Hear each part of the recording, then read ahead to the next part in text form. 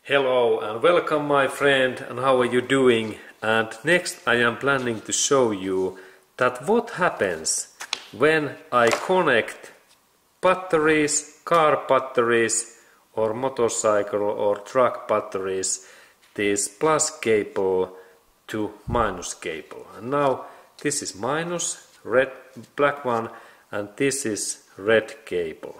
And sometimes it happens so that we have something situation that cables moves in car or truck and then they became contact together. And what happens?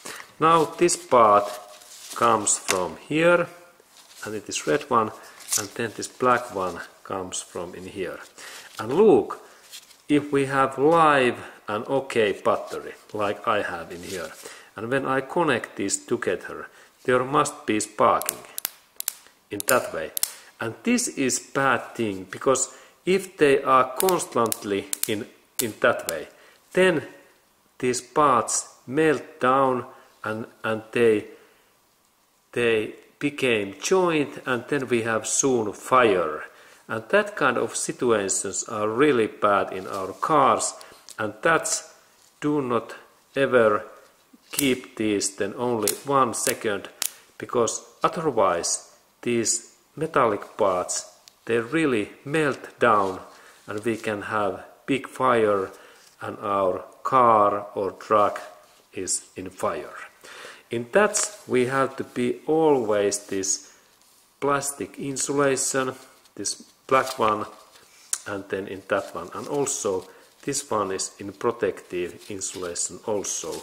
When I install this my tester in here and then when I try to test there's no any sparks but then when I take this in contact there's right away sparkings.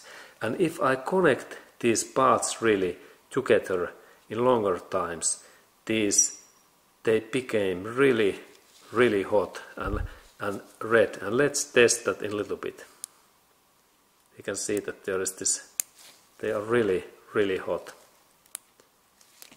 And they they even they are like welded together. And now these parts are by the way this they are really hot.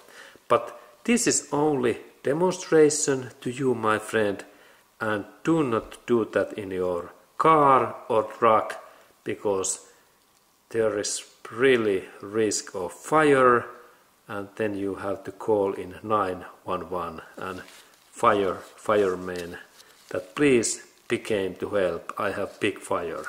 And now these my parts are by the way by the way hot. And that's I have to unconnect this my cables.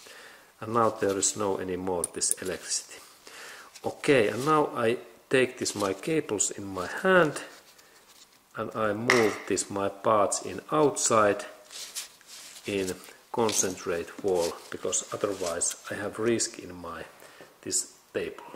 Okay and now my these hot cables they are in this cool concentrate stone floor and now there is no any risk of fire because this is concentrate wall this my basement.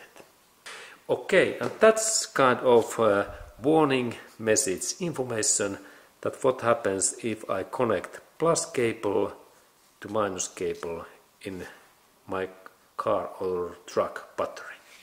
And thumbs up my friend and I hope that you have learned something new.